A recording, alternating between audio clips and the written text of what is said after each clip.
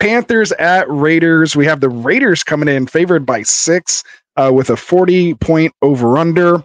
Um, not too much going on here in this game. I only have my must starts as Brock Bowers and Davante Adams uh, going up against this defense. Uh, a couple guys that I want to talk about here. Uh, let's start with Zamir White. Um, going up against this Panthers, I think this is kind of a get right game for him for those white truthers out there. Uh, you know, I've been off this boat, but where do you have Zamir White uh, this week uh, against this Panthers defense? I have him at, at at RB twenty eight, and the caveat of this is he's a sit for me, but it's the Panthers. So if you're in a if you lost Pacheco, you know, if you've got a bad feeling about Javonte Williams or the Broncos running back room, then I do think you you kind of have to start White. And this is probably the only week that you can go to your bench and say, this is the one time I think it's going to go right for him because it's the Panthers. But if you have other options, he's still a sit for me. Um, I, I look, everybody wants to talk about Sam Darnold and what it's going to mean for the receiving core and all these statistics for when he's been in there before and how much better it's going to be. I'm not buying any of that. I'm sitting every single Panther that I possibly can. I want absolutely nothing to do with it. And I just, I just don't see a way where it goes right for them on the road. The Raiders are, I mean, Maxx Crosby's a game wrecker. Maxx Crosby and Christian Wilkinson are game wreckers. So I don't, yeah don't put him in your lineup, guys. Unless Crosby is a little questionable. To. We'll see what happens if he's going to play yeah, or not. But yeah. you know, we know he's a warrior. Um, yeah. but yeah, I mean, either way, I still have White uh, down here um, as well too. Uh, uh, I have him at 32, so I don't think 28 was real bad, but we have him kind of down in that same uh, type of area. Uh, and it's it just goes to show you though, playing against this Panthers defense, um, you know, I still don't even really trust it. So uh, we'll see. I might be wrong, but again, I, am personally not starting them uh, either.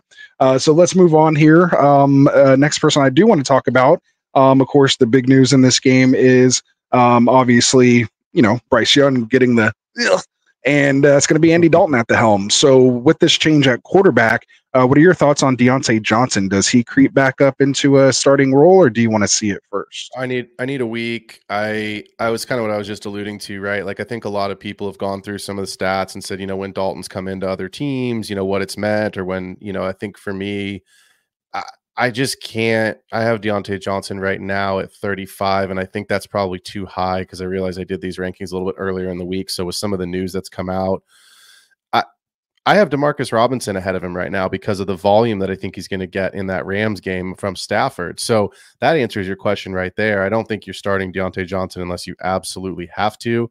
I have him in uh, one of my main dynasty leagues, and he's benched this week. I'm I'm I'm going to roll a different route. So yeah, I have him at wide receiver 30, uh, 38. Interestingly enough, one spot ahead of Demarcus Robinson. So. yeah, exactly. but go. yeah, I kind of have him about in that range. Um, you know, just if Bosa is healthy in that Niner game, which we'll get into here in a little bit, um, it might be a little rough uh, with with the offensive line injuries they're dealing with yeah. uh, for Robinson even to do anything this week uh, personally. But uh, we'll talk about that a little later. Uh, let's get into another back here. Um, on the other side of the ball, Chuba Hubbard, or I guess technically on the same side of the ball, but I was just talking about the Niners. Um, yeah. Chuba Hubbard. Um, where are we going with him? Is he startable? I mean, I like his passing game usage, um, but again, going up against the Raiders defense, where we where are we at with Chuba? I have him at RB thirty two, sandwiched in between Austin Ekeler and uh, Zeke.